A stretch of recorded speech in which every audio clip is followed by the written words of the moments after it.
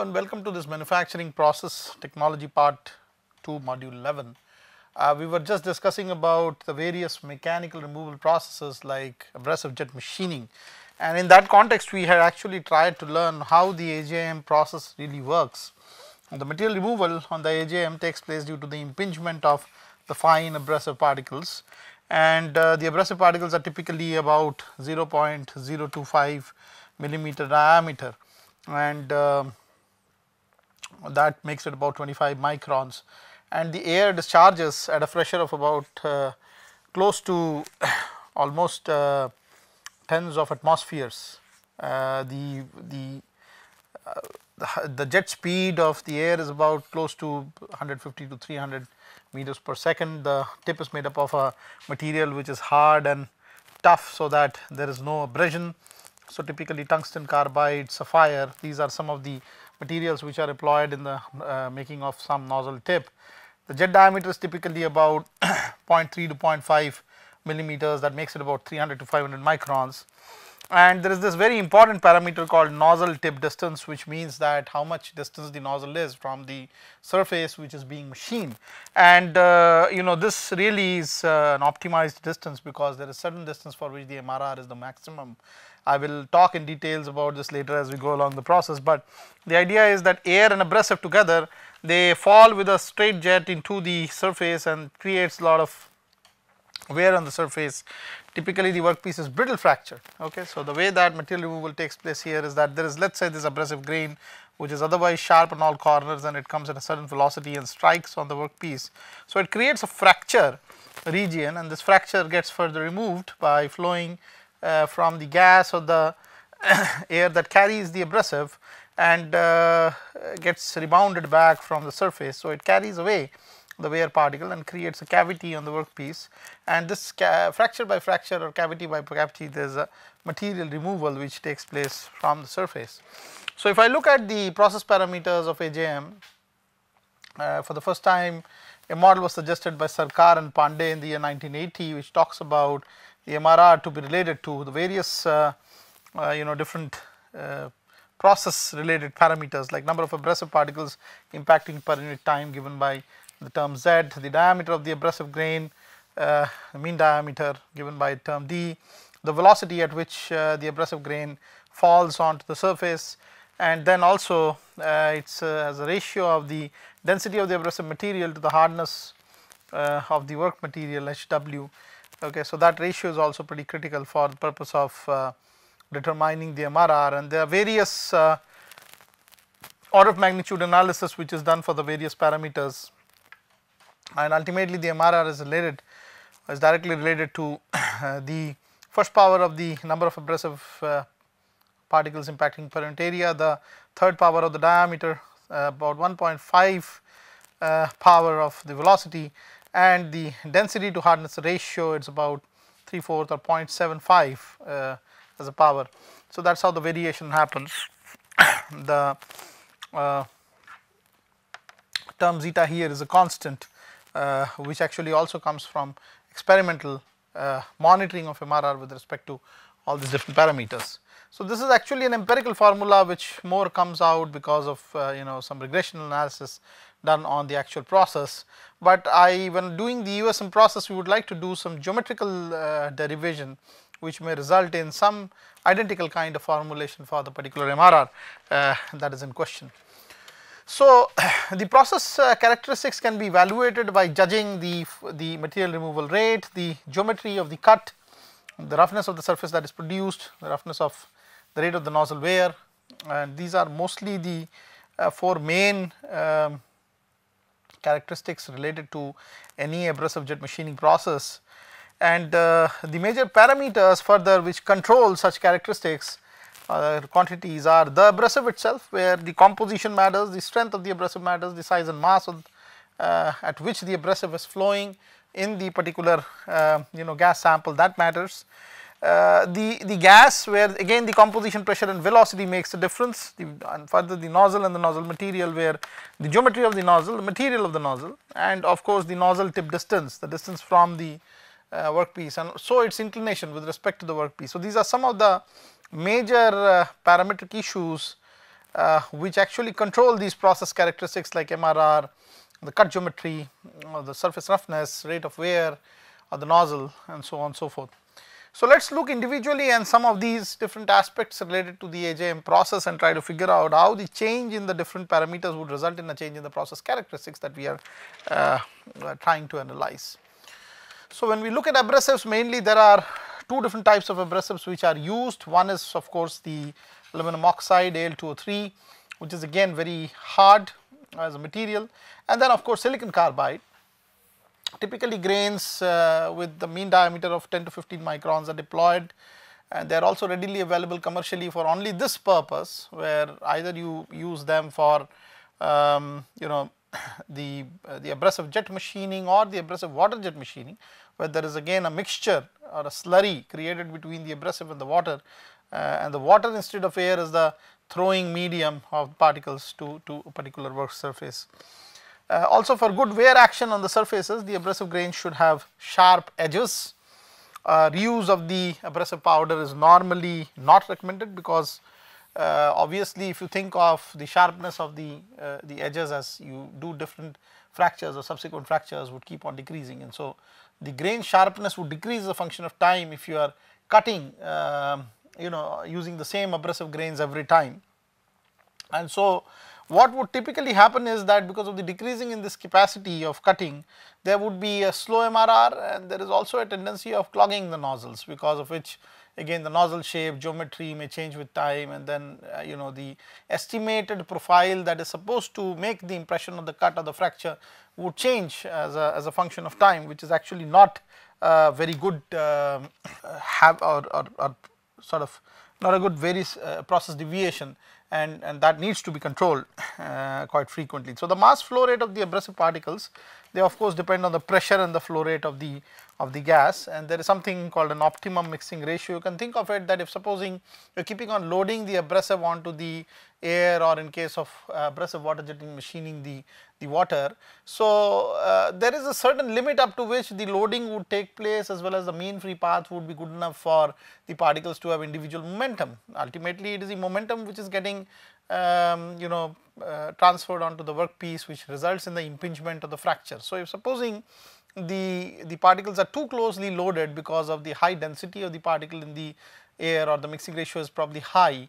So, in that event you may not be able to realize much momentum transfer because there would be intergrain collisions and such collisions are to be avoided as far as possible whenever we talk about this grain throw kind of processes uh, where mechanical removal of material is involved through fracture. So, when the mass flow rate of the abrasive increases, the material removal rate increases as you can see here, but if you are trying to change the mixing ratio, there is only an optimum best up to which the MRR would be the highest, beyond which there would be a again a intergrain collision and reduction in the mean free path resulting in slowly you know decrease in the MRR value. So, there is a plateauing optimum which happens in terms of mixing ratio, whereas in case of mass flow rate it is almost a direct proportionality which, which uh, is obeyed. So, that is regarding the abrasive and the way it flows. The gas of course is a very pretty important uh, uh, constituent of the abrasive jet machining. So, typically the uh, pressures uh, that an AJM normally operates are in the range of 0.2 to about 1 Newton per meter square. Uh, the composition of the gas and the uh, high velocity has a significant impact on the MRR even if the mixing ratio is not changed. Uh, try and by and large it is important to avoid having a corrosive gas because uh, although sometimes deliberately corrosive gas is used because you want to pre-soften the material. But uh, in this particular case uh, because it is an open chamber process it is a better idea uh, not to play around with the gas too much and uh, make it like environmentally benign or not affecting the operator. So, obviously should be non-corrosive as far as possible. Talking about the nozzle, it is one of the vital elements uh, which is uh, responsible for again uh, controlling uh, almost all the process characteristics. The nozzle material should avoid any significant uh, wear. Uh, it should have a good working lifetime probably because you know there is a continuous flow of the abrasive and there is always a tendency of the abrasive to change the, the nozzle orifice. So, uh, it is important to match the hardness of the nozzle material in a manner, so that such uh, uh, opening with time does not take place. So, average lifetime of some of the conventional materials which are used for nozzles like let us say this turbine tungsten carbide is about 12 to 30 hours. Uh, if you are using a sapphire nozzle although it is a little more expensive, but the approximate lifetime increases to about 300 hours. It is uh, higher than tungsten carbide, it is more durable. And for all practical purposes, the cross sectional area of a nozzle or an orifice is held between 0.05 to 0.2 millimeter square. There can be uh, right angled or straight head nozzles with uh, various cross sections like circular or uh, square cross sections. But you know the idea is that you have to keep while uh, initiating the process every time you, you have to keep a close watch on the nozzle orifice and if you see subsequent uh, deformation or uh, change in the orifice you must think of a plan of uh, removing the nozzle and changing with the new one. So, that is how um, the different process uh, characteristics uh, go. The other important issue as I told you is also known as the nozzle tip distance or what we commonly know as standoff distance and in fact this changes uh, quite a bit of uh, the geometry of the, the cut that is eventually getting formulated in terms of the spread and the depth uh, which would be caused because of such a throw of material. And also uh, there is an optimum best uh, nozzle tip distance over which uh, there is actually um, maximum material removal rate. So, you can think of it in this manner that supposing the, uh, the nozzle is too close to the workpiece and the distance allowing the abrasives to be thrown out of the jet uh, while getting accelerated is, is very small. So, you already know that you know uh, by one of the Newton's laws V square uh, becomes equal to uh, it's it's actually almost proportional to the acceleration and also to the distance. So, if you are allowing the distance to be more or distance of traverse of the particles to be more obviously the velocity uh, that it would finally end up and the kinetic energy would be much higher. Now, if the nozzle were too close and the, uh, the abrasive grains will not find so much uh, distance to be moved before they strike or collide onto the surface, obviously their momentum would be slower. Now, if supposing you keep on increasing the nozzle distance then this factor increases you know because the momentum is higher and higher. But then there is also an additional factor of drag which comes because of atmosphere. Obviously, uh, the process is done in normal open atmosphere and there are going to be air molecules in the path of the abrasive and there is also going to be a cross collision effect which happens normally because these are all uh, you know if you look at the velocity profile it is coming out of a pipe. So, it is more like a pipe flow where the central uh, regions are uh, of the particles which are in the central regions of the pipe have much more velocity in comparison to that of the sides. So, typically this profile looks something like a Gaussian with a maximum velocity at the center and, and you know tailing velocity at both ends. And so, you can think of it that in such a case when the, abrasives come out of the nozzle and it has to traverse for a substantial distance, there is going to be number one drag, atmospheric drag which slows down the abrasive and uh, also there is going to be cross grain collisions. Okay. So, because of all that there is a there is a tendency that the, the momentum again starts reducing beyond a certain nozzle tip distance. Now, this will not uh, affect up to some region where there is a cancellation effect that the on one hand the momentum is increasing and other it is reducing because of the drag. But then beyond uh, the point where the drag becomes dominant you know obviously the momentum is going to reduce. So, therefore, if I wanted to look at the way that the, the nozzle tip changes uh, the material removal rate. So, for the first few um, you know units of length uh, the, uh, the material removal increases and then there is uh, almost a cancellation effect because of this increase and subsequently the, uh, the drag factor and then drag becomes predominant beyond which the MRR again goes down. So, typically it also affects in terms of the profile. So, you think of it that uh, this is uh, a case where they are showing nozzle tip distance of uh, let us say 0.031 inches which results in a diameter of a cut which is 0.0 0.018 inches and of course the depth is more prominent here okay. But as you uh, change the nozzle tip distance to 0.197, 0.394, 0.590. So, you are increasing the nozzle tip. So, obviously, there is a beam spread. So, your diameter reduces from uh, increases from 0.018 to 0.025, 0.059, 0.079 inches respectively. And if you look at the the allowable depth up to which the penetration is uh, taking place here, the depth also reducing with uh, the nozzle tip distance. So, obviously, uh, it will be more broader and shallow if we talk about increased NDTs and therefore, that control of accuracy of the exact cut size actually changes as the uh, nozzle tip distance is increased.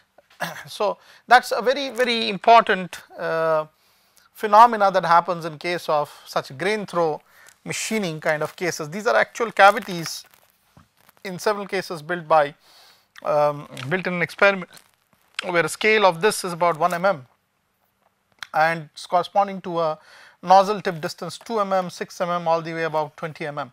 So, there are different cases where it shows how shallow and wide the cavity becomes as the NDT is increased from 2 mm to 20 mm. the two important parameters in case of uh, how the gas is flown and how the abrasive is loaded are one mixing ratio, another is the mass ratio. So, by definition mixing ratio m can be determined by the volume flow rate of the abrasives per unit the volume flow rate of the carrier gas. So, you can call it as UA dot by UG dot and uh, the mass ratio on the other hand alpha can be determined as the mass of the abrasive by the total mass of the abrasive plus the carrier gas which flows out of the nozzle so, in other words you can actually if you wanted to put um, you know rates instead of the total mass. So, obviously these are function of time. So, you can have the abrasive mass flow rate per unit the abrasive plus carrier gas combined mass flow rate in this particular uh, uh, case. So, let us actually investigate one or two problems where we can see if we can calculate the mixing ratio, the mass ratio given some parameters in a process and arrive at some ballpark values where it is more important to understand what is the level at which you should operate in terms of mixing ratio and the mass ratio. So, let us actually do a numerical problem now where we are talking about an AJM machine with the mixing ratio which is about 0.2 and we want to calculate what is the mass ratio if the ratio of the densities of abrasive and density of carrier gas is given to be about 20. So, we know the mixing ratio equals VA dot by VG dot and the mass ratio is MA dot by MA plus G dot. So, rho A VA dot divided by rho A V A dot plus rho g V g dot is equal to alpha. so, alpha is basically the mass ratio here the rate of flow of abrasives by rate of flow of abrasive plus the gas. So, 1 by alpha becomes equal to rho A V A dot plus rho g V g dot divided by rho A V A dot which is 1 plus rho g by rho A V g dot by V A dot and that becomes equal to 1 plus 1 by 20 times of 0.2. Remember the air to the abrasive to the carrier gas density is given to be 20. So, obviously rho g by rho a would be 1 by 20 and similarly the volume flow rate of the gas to the abrasive is just uh, the inverse of 0.2 which is actually the mixing ratio. So, this becomes equal to 1.25 in other words alpha becomes equal to 1 by 1.25 uh, which is actually equal to 80. So, given the density ratios of the abrasive and the carrier gas, so given the mixing ratio and the abrasive to dense, uh, you know abrasive to carrier gas density ratio, we can calculate easily the alpha or the mass ratio for any process. Let us look into another problem. We have a diameter uh, of a nozzle which is about 1 millimeters and a jet velocity of 200 millimeters per second and we want to estimate what is the volumetric flow rate in centimeter cube per second of the carrier gas of the abrasive mixture. We assume this nozzle to be uh, circular because of the diameter factor that is there. So, the cross sectional area here of the nozzle orifice is given by pi r square. And so the volume of the air plus abrasive gas plus abrasive uh, the volume flow rate will be actually given by this cross sectional area which is in centimeter square times of the velocity in centimeter square again and so many centimeter cube per second is the volume of the abrasive in the gas. This becomes equal to 50 pi centimeter cube per second. It is actually equal to about close to um, 106 155 centimeters per second approximately. So, that is how uh, you know uh, the volumetric flow rate of this particular uh, nozzle can be calculated. We now look, uh, try to look at the, the constitution of the machine which uh, uh, helps in doing AJM. So, basically there are various parts of the machine probably you realize this is the nozzle, this is the workpiece fixture in which the workpiece can be held and the distance between the two is also known as the stand-off distance the nozzle. So, beyond the nozzle there are many different parts of this particular machine. For example, there is a abrasive fitter, there feeder, there is a mixing chamber. On one side there is air and flow which is uh, regulated pressure wise by opening and closing set of valves which comes directly in the route of a compressor. So, the compressor feeds compressed air into this particular circuit through the valve on this mixing chamber. Obviously, the compressor would have a relief valve, they would have a air filter cum dryer which maintains the air quality which is being compressed. There is a pressure gauge to indicate what is the pressure at which the compressor is operating. There is obviously a relief valve given to the compressor to drain off what excess whatever excess pressures are felt within the compressor chamber. And so, typically the air abrasive mixture happens here because of the hopping effect or hopping process the abrasive feeder hops the hops the the abrasive grains into the the uh, the ambient air and the uh, the air abrasive mixture is again passed through the nozzle. There is a pressure gauge at just in the close vicinity of the nozzle to have a look at what is the kind of ambient pressure that is uh, that is uh, being injected through the nozzle onto the onto the workpiece. So, typically uh, majority of these abrasive jet machines are manufactured by a single manufacturer called Air Abrasives and it is typically from SS White and company at New York. The uh, gas, gas propulsion system supplied supplies the clean and dry gas uh, typically different gases like air, nitrogen and CO2 can be utilized for um, for mixing abrasives uh, and to propel the abrasives. So, it can be supplied either by cylinder or compressor. So, typically compressor is preferred when it is repeated use case in case of a compressor a filter and a dryer may be used because obviously it is a dynamic way to compress whatever carrier medium would like to set in to carry the abrasive it is also to avoid the water or oil contamination of the abrasive powder. Gas should be non-toxic, cheap, easily available, should not excessively be spread when discharged from the nozzle into the atmosphere so on and so forth. So, that is how abrasive jet machines are carried out. Now, let us look at another mechanical process of substantial interest which is known as the ultrasonic machining or the USM process.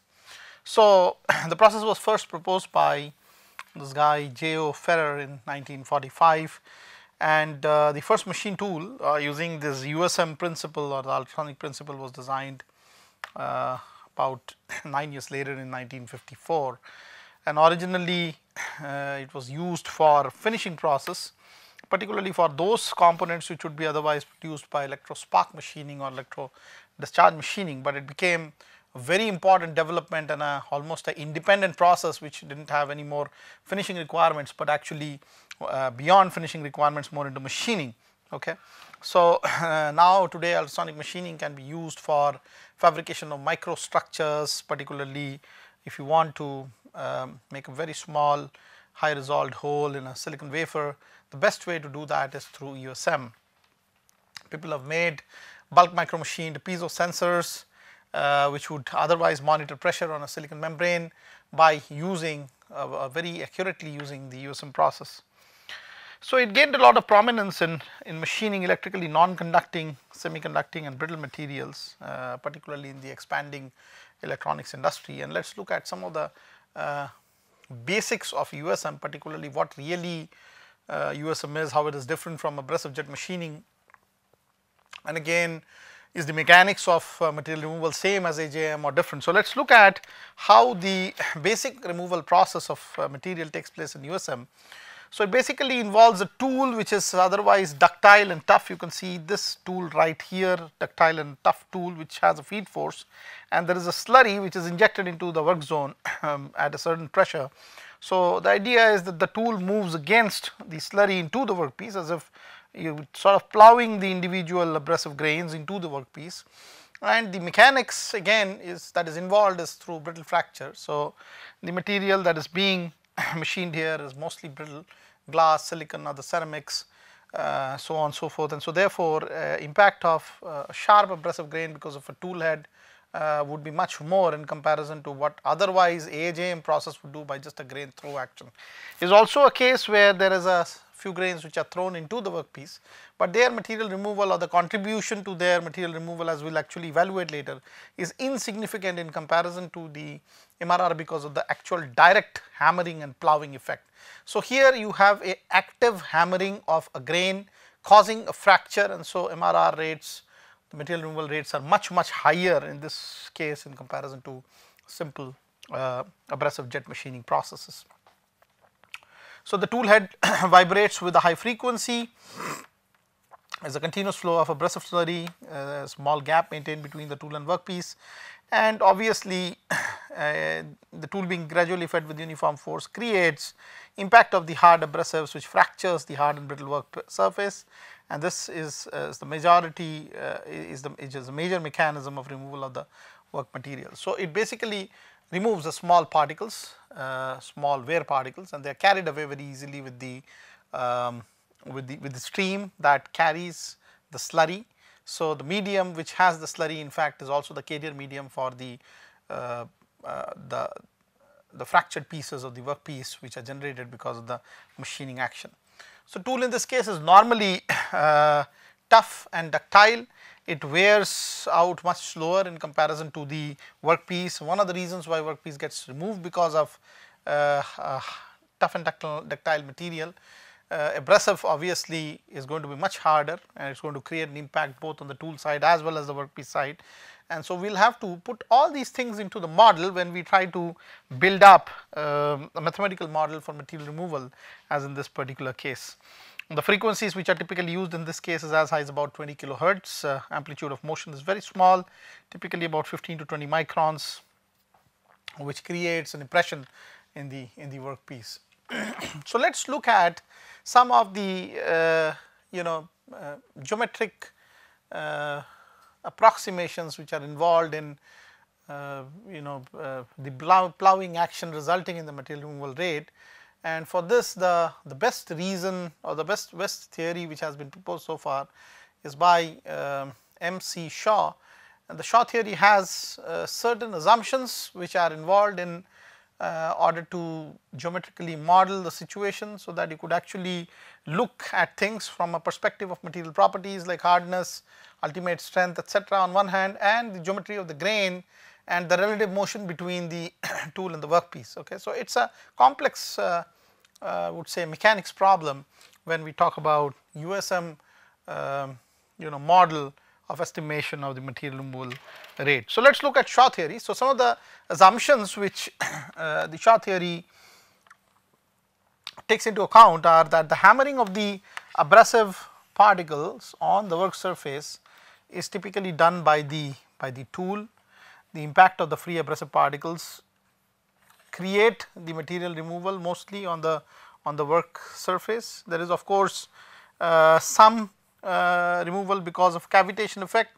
Obviously, the tool is vibrating at almost uh, uh tens of kilohertz, I mean probably orders of magnitude about 20, 20 kilohertz or 40 kilohertz in that particular range and so the tool is supposed to move much faster in comparison to the relaxation property of the medium and the medium always lags behind uh, uh, the tool which may be resulting in uh, some kind of gaps and some kind of bubbles and these bubbles are uh, responsible for mostly uh, carrying away or sometimes even creating uh, additional impact effects on, on the work surface. And so, the erosion of the material mostly you can say even if the fracture has developed and the material is semi fractured can be uh, propagated through this uh, cavitation mechanism because of the highly vibrating head. And so, also there is chemical action sometimes associated with the fluid used where there can be a pre-softening of the material made because of uh, the USM process. So, uh, I think I will close this module now, but in the next module I am going to work on this Shaw theory with the assumptions that have been made here as potential causes for material removal in USM and uh, then look at geometrically how the material removal rate can be modeled. So, as of now thank you so much bye bye.